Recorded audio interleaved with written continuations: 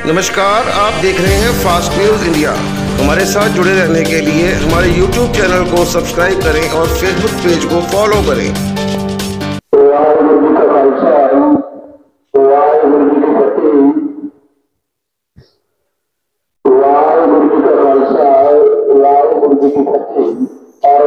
सत्कार्य गुरु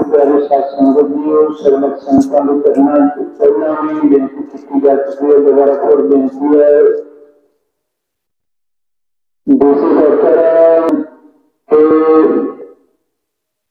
ਆਮ ਖਾਸ ਨੂੰ ਸੂਚਿਤ ਕੀਤਾ ਜਾਂਦਾ ਹੈ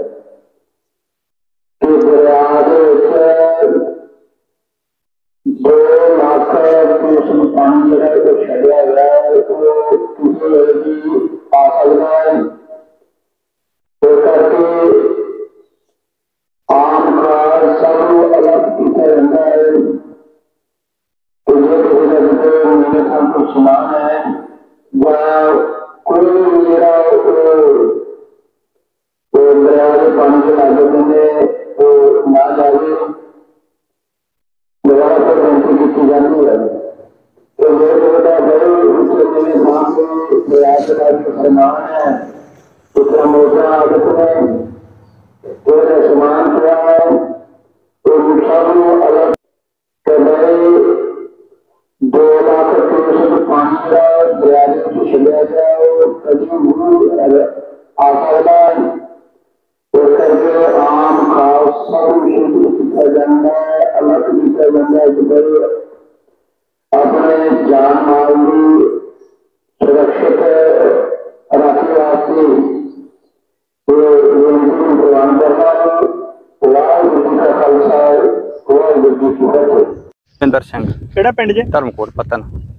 ਜਿਹੜਾ ਇੱਥੇ ਬੜਾ ਬੜਾ ਪਾਣੀ ਆਉਂਦਾ ਰਿਹਾ ਜੀ ਪਹਿਲੇ ਤੇ ਪਾਣੀ ਅਜੇ ਤੇ ਹੈ ਨਹੀਂ ਜੇ। ਆ ਜੀ ਇੱਥੇ। ਹਾਂਜੀ। ਲੌਸਮੈਂਟ ਹੋਈ ਆ ਸਾਡੇ ਪਿੰਡਾਂ 'ਚ। ਹੂੰ। ਵੀ ਪਾਣੀ ਛੱਡਿਆ ਵਾ।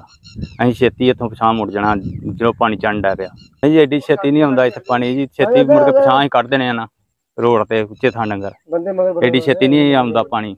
ਜੇ ਚੜਨ ਲੱਗਿਆ ਇੱਥੇ ਕੋਈ ਅੱਧਾ ਘੰਟਾ ਲੱਗ ਜਾਏਗਾ ਪਾਣੀ ਚੜਦਿਆਂ ਇਹਨੂੰ ਪ੍ਰਸ਼ਾਸਨ ਦਾ ਤੁਹਾਨੂੰ ਕੋਈ ਡਰ ਖੌਫ ਨਹੀਂ? ਨਹੀਂ ਡਰ ਖੌਫ ਤਾਂ ਹੈਗਾ ਜੀ। ਡਰ ਖੌਫ ਪਛਾਣ ਲੈ ਜਾਾਂਗੇ ਚਾਰਾ ਚੂਰਾ ਸਾਡੇ ਕੋਲ ਨਹੀਂ ਆ। ਘੜੀ ਫੇਰ ਤੋੜ ਕੇ ਦਿਨ ਫੇਰ ਲੈ ਜਾਾਂਗੇ ਪਿੰਡ।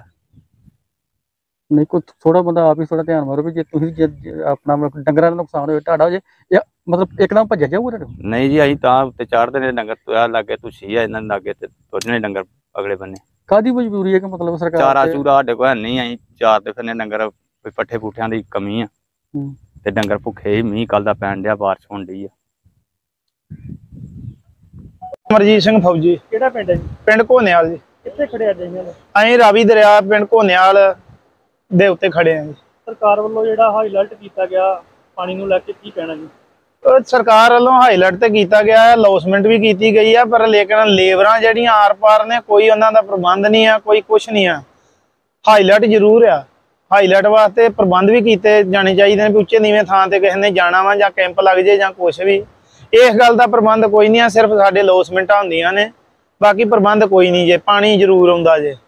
ਕੋਈ ਮੈਡੀਕਲ ਸਹੂਲਤ ਨਾਲ ਕੋਈ ਮੈਡੀਕਲ ਸਹੂਲਤ ਵਾਸਤੇ ਨਹੀਂ ਦੱਸਿਆ ਕੋਈ ਕੁਝ ਨਹੀਂ ਦੱਸਿਆ। ਕੋਈ- ਕੋਈ ਪ੍ਰਸ਼ਾਸਨ ਦਾ ਅਧਿਕਾਰੀ ਆਇਆ ਹੁਣ ਇਸ ਅਜੇ ਤੱਕ ਕੋਈ ਨਹੀਂ ਪ- ਇਸ ਵੇਲੇ ਟਾਈਮ ਹੁੰਦਿਆ ਡੇਢ ਦਾ ਕੋਈ ਨਹੀਂ ਜੇ ਭਾਈ ਅਜੇ ਤੱਕ ਪਹੁੰਚਾ ਕੀ ਮੰਗਿਆ ਹੁਣ ਸਰਕਾਰ ਤੋਂ? ਸਾਡੀ ਮੰਗ ਤੇ ਉਹੀ ਆ ਵੀ ਮਤਲਬ ਪ੍ਰਸ਼ਾਸਨ ਵੇਖੇ ਆਣ ਕੇ ਜਦੋਂ ਸਾਡੇ ਇਹਨਾਂ ਖੱਡਿਆਂ 'ਚ ਗੰਨੇ ਵਾਲਿਆਂ 'ਚ ਕਿਤੇ ਵੀ ਪਾਣੀ ਪੈ ਜਾਂਦਾ 6-6 ਮਹੀਨੇ ਪਾਣੀ ਨਹੀਂ ਨਿਕਲਦਾ। ਸਰਕਾਰ ਤੇ ਆਪਣਾ ਪਾਣੀ ਛੱਡ ਕੇ ਤੇ ਦੱਸ ਦਿੰਦੀ ਵੀ ਪਾਣੀ ਛੱਡ ਦਿੱਤਾ। ਗਰੀਬ ਬੰਦਾ ਐ ਵਕਤ ਤੁਸੀਂ ਵੇਖੋ ਗਰੀਬ ਜਿਹੜੇ ਨੇ, ਜਿਨ੍ਹਾਂ ਨੂੰ ਤੁਸੀਂ ਪਾਣੀ ਬਾਰੇ ਦੱਸ ਦਿੱਤਾ, ਉਹ ਜਾ ਕੇ ਡਾਕਟਰ ਕੋਲ ਬੀਪੀ ਚੈੱਕ ਕਰਾਉਣ ਵੀ ਡਿਆ ਪਈ ਜਿਹਦੇ 20 ਕਿੱਲੇ ਗੰਨਾ ਲੱਗਾ, ਉਹ ਕਿੱਧਰ ਨੂੰ ਜਾਊਗਾ? ਜੇ ਡੁੱਬ ਗਿਆ ਤੇ। ਸਾਡੇ ਲੋਕਾਂ ਦਾ ਤੇ ਅੱਧਾ ਬਲੱਡ ਪ੍ਰੈਸ਼ਰ ਵੱਧ ਗਿਆ ਵਾ। ਇਸ ਚੀਜ਼ ਦਾ ਵਾ ਵੀ ਸਾਡਾ ਥੋੜਾ ਬਹੁਤ ਸੋਚਿਆ ਜਾਏ ਹਾਈਲਾਈਟ ਤੇ ਕਰ ਦਿੰਦੇ ਆ ਥੋੜਾ ਬਹੁਤ ਇਹ ਵੀ ਤੇ ਸੋਚਿਆ ਜਾਏ, ਜੇ ਪਹਿਲਾਂ ਥੋੜਾ ਥੋੜਾ ਪਾਣੀ ਛੱਡਿਆ ਜਾਂਦਾ, ਇੱਕਦਮ ਹੀ ਛੱਡਣ ਦੀ ਕੀ ਲੋੜ ਹੈ ਅਸੀਂ ਤੇ ਇਹ ਮੰਗ ਕਰਦੇ ਵੀ ਥੋੜਾ ਸਾਡੇ ਬਾਰੇ ਵੀ ਸੋਚਿਆ ਜਾਏ, ਜਿਹੜਾ ਗਰੀਬ ਬੰਦਿਆਂ ਦਾ ਇੰਨਾ ਨਾ ਗੰਨਾ ਮਾਰਿਆ ਜਾਂਦਾ ਆ ਜਾਂ ਝੋਨਾ ਮਾਰਿਆ ਜਾਂਦਾ ਵਾ, ਇੱਕ ਵਾਰੀ ਅਸੀਂ ਕਹਿ ਦਿੰਦੇ ਆ ਵੀ ਅਸੀਂ ਮੁਆਵਜ਼ਾ ਦਿੱਤਾ, ਮੁਆਵਜ਼ੇ ਵਾਸਤੇ ਤੇ ਉਹਨੇ ਗੇੜੇ ਸਾਨੂੰ ਕਢਾਉਂਦੇ ਨੇ। ਉਹਨਾਂ ਹੀ ਤੇਲ ਫੂਕ ਲੈਂਦੇ ਮਗਰ ਮਗਰ ਜਾ ਕੇ। ਇਹਦਾ ਕੋਈ ਮੁਆਵਜ਼ੇ ਮੂਵਜ਼ੇ ਦਾ ਕੋਈ ਮਤਲਬ ਨਹੀਂ ਹੈ ਇੱਕ ਗਰੀਬ ਨੇ ਹੁਣ ਡਾਇਆ ਪਾਈ ਆ, ਜਾਂ ਲੇਬਰ ਦਿੱਤੀ ਆ, ਸਾਰਾ ਕੁਝ ਕੀਤਾ ਵਾ, ਮੋਟਰ ਲਾਈ ਆ ਵਿਚਾਰਿਆਂ ਨੇ ਜਾਂ ਇੰਜਨ ਲਾ ਕੇ ਕੀਤਾ ਵਾ, ਉਹਦਾ ਕਿੰਨਾ ਕੁ ਦੇ ਦੇਗੀ ਸਰਕਾਰ? ਕੁਝ ਨਹੀਂ ਦਿੰਦੀ ਸਰਕਾਰ, ਬਸ ਇਹੋ ਹੀ ਆ ਵੀ 6 ਮਹੀਨੇ ਉਹ ਪੈਲੀ ਵਾਹੁੰਦਾ, ਮਰ ਜਾਂਦਾ ਤੇ ਉਦੋਂ ਬਾਅਦ ਇਹ ਗੰਨਾ ਵੀ ਰੁੜ ਕੇ ਗਿਆ ਤੇ ਉਹ ਗਿਆ ਝੋਨਾ, ਉਦੋਂ ਬਾਅਦ ਵਿਹਲਾ ਹੋ ਕੇ ਜੱਟ ਬਹਿ ਜਾਂਦਾ ਜੇ। ਉਦੋਂ ਬਾਅਦ ਕੁਝ ਨਹੀਂ, ਬਾਅਦ ਚ ਲੋਕ ਕਹਿੰਦੇ ਨੇ ਸਲਫਾਸ ਖਾਂਦਾ, ਉਹ ਵਿਚਾਰਾ ਹੋਰ ਕੀ ਖਾਏ? ਭੜੋਲੇ ਚੋਂ ਕਣਕ ਮੁੱਕ ਜਾਂਦੀ ਤੇ ਉਹਨੇ ਸਲਫਾਸ ਹੀ ਖਾਣੀ ਆ। ਕਿ ਆਪਾਂ ਨੂੰ ਪਤਾ ਕਿ ਪਿਛਲੇ 2 ਦਿਨਾਂ ਤੋਂ ਹਿਲ ਸਟੇਸ਼ਨ ਤੇ ਭਾਰੀ ਬਾਰਿਸ਼ ਹੋ ਰਹੀ ਹੈ। ਉਹਦੀ ਵਜ੍ਹਾ ਨਾਲ ਜਿੱਥੋਂ ਤੱਕ ਪਾਣੀ ਕੰਟਰੋਲ ਹੁੰਦਾ ਸੀ ਕੰਟਰੋਲ ਕੀਤਾ। ਹੁਣ ਅੱਜ ਸਾਨੂੰ ਮਾਰਨਿੰਗ ਇੰਟੀਮੇਸ਼ਨ ਹੋਈ ਹੈ ਕਿ ਭਾਖੜਾ ਡੈਮ ਤੋਂ ਉਧਰ ਰਣਜੀਤ ਸਾਗਰ ਡੈਮ ਤੋਂ ਪਾਣੀ ਜਿਹੜਾ ਛੱਡ ਦਿੱਤਾ ਗਿਆ ਹੈ। ਤੇ ਉਸ ਵਜ੍ਹਾ ਨਾਲ ਅਸੀਂ ਅੱਜ ਮੌਕੇ ਤੇ ਪਹੁੰਚੇ ਹਾਂ। ਘਣੀਏ ਕੇ ਬੇਟ, ਹਾਲੇ ਤੱਕ ਸਿਚੁਏਸ਼ਨ ਅੰਡਰ ਪੂਰੀ ਕੰਟਰੋਲ ਹੈ। ਜੇ ਪਾਣੀ ਮਤਲਬ ਕਹਿੰਦੇ ਉੱਥੇ ਛੱਡਤਾ ਹੈਗਾ ਤੇ ਜੋ ਵੀ ਗੱਲਬਾਤ ਹੋਊਗੀ ਸਾਰੀ ਅਸੀਂ ਸਰਕਾਰ ਨਾਲ ਐਡਮ ਨਾਲ ਪੂਰੇ ਇਨ ਟੱਚ ਹੈਗੇ ਆ। ਸਾਰੀਆਂ ਸਾਡੀ ਟੀਮਾਂ ਵੀ ਤਿਆਰ ਹੈਗਾ, ਸਰਕਾਰ ਵੱਲੋਂ ਪੁਖਤਾ ਪ੍ਰਬੰਧ ਨੇ। ਸਾਡੇ ਡੀਸੀ ਸਾਹਿਬ ਪੂਰਾ ਸਾਡੇ ਕੋਲ ਇੰਟੀਮੇਸ਼ਨ ਲੈ ਰਹੇ ਨੇ, ਹਰ ਇੱਕ ਘੰਟੇ ਬਾਅਦ, ਹਰ ਇੱਕ ਅੱਧੇ ਘੰਟੇ ਬਾਅਦ ਅਸੀਂ ਆਪਣੇ ਐਸਡੀਐਮ ਸਾਹਿਬ ਨੂੰ ਵੀ ਇਸ ਵਾਰ ਇੰਟੀਮੇਸ਼ਨ ਦੇ ਰਹੇ ਹਾਂ। ਸਰ, ਹਲਕੇ ਦੇ ਲੋਕ ਕਹਿ ਰਹੇ ਆ ਕਿ ਸਾਨੂੰ ਲਟ ਤੇ ਜ਼ਰੂਰ ਕੀਤਾ, ਪਰ ਕੋਈ ਪ੍ਰਬੰਧ ਨਹੀਂ ਲੱਗ ਰਿਹਾ। ਨਹੀਂ ਪ੍ਰਬੰਧ ਬਿਲਕੁਲ ਜੀ ਸਾਰੇ ਕੀਤੇ ਹੋਏ ਨੇ। ਡੇਰੇ ਦੇ ਵਿੱਚ ਜੋ ਸਕੂਲ ਹੈ ਸਭ ਅਸੀਂ ਹੁਣ ਜਿਵੇਂ ਇੱਥੇ ਕੁਝ ਲੋਕ ਆਪਣੇ ਗਾਵਾਂ ਪਸ਼ੂ ਡੰਗਰ ਚਾਰ ਸੀ ਉਹਨਾਂ ਨੂੰ ਅਸੀਂ ਕੱਢ ਕੇ ਆਏ ਵੀ ਤੁਸੀਂ ਬਾਅਦ ਚ ਉਹਨਾਂ ਕਿ ਉਹ ਪਾਣੀ ਦਾ ਵਹਾਅ ਪਤਾ ਨਹੀਂ ਕਿੱਧਰ ਨੂੰ ਜਾਣਾ। ਸਾਰਾ ਕੁਝ ਸਿਚੁਏਸ਼ਨ ਅੰਡਰ ਕੰਟਰੋਲ ਹੈ ਇਹੋ ਜੀ ਕੋਈ ਗੱਲ ਨਹੀਂ ਹੈਗੀ ਵੀ ਜੇ ਕੱਲ ਨੂੰ ਪਾਣੀ ਆਉਂਦਾ ਜਾਂ ਕਿਵੇਂ ਥੋੜੀ ਦੇਰ ਬਾਅਦ ਡੱਬਲ ਪਾਣੀ ਆਉਣ ਦੇ ਕੋਈ ਚਾਂਸ ਨਹੀਂ ਹੈਗੇ। ਤੁਸੀਂ ਦੇਖ ਹੀ ਰਹੇ ਹੋ ਜਿਵੇਂ ਕੋਈ ਸਾਹਿਬ ਕੋ ਸਕੂਲ 'ਚ ਸਾਰੇ ਪ੍ਰਬੰਧ ਹੈਗੇ ਨੇ। ਸੈਂਟਰ ਕੋਈ? ਹਾਂਜੀ ਹਾਂਜੀ ਸਕੂਲ ਬਣਾਏ ਗਏ ਨੇ ਜੀ ਡੇਰੇ ਦੇ। ਫਿਲਹਾਲ ਸਥਿਤੀ ਕਿਵੇਂ ਹੈ ਜੀ? ਸਥਿਤੀ ਇਹ ਠੀਕ ਹੈ ਅੰਡਰ ਕੰਟਰੋਲ ਹੈ, ਮੈਂ ਦੇਖ ਕੇ ਹੀ ਆ ਰਿਹਾ ਹੈਗਾ। ਤਾਂ ਹੀ ਮੈਂ ਥੋੜਾ ਲੇਟ ਹੋ ਗਿਆ, ਮੈਂ ਮਾਰਨਿੰਗ ਦਾ ਨਿਕਲਿਆ ਤੇ ਜਦੋਂ ਦਾ ਮੈਨੂੰ ਮੈਸੇਜ ਮਿਲਿਆ ਤੇ ਮੈਂ ਇੱਥੇ ਸਾਰੇ ਪਾਸੇ ਜਾ ਕੇ ਆਇਆ। ਸਿਚੁਏਸ਼ਨ ਸਾਰੀ ਅੰਡਰ ਕੰਟਰੋਲ ਹੈ, ਜੋ ਲੋਕ ਹਾਲੇ ਮੈਸੇਜ ਤੋਂ ਹਰੇਕ ਪਿੰਡ ਦੇ ਵਿੱਚ ਅਨਾਉਂਸਮੈਂਟ ਵੀ ਕੀਤੀ ਗਈ ਹੈ ਤੇ ਜੋ ਲੋਕ ਹਲੇ ਫਿਰ ਵੀ ਦਰਿਆ ਦੇ ਵਿੱਚ ਸੀ, ਉਹਨਾਂ ਨੂੰ ਡੰਗਰ ਚਾਰ ਰਹੇ ਸੀ।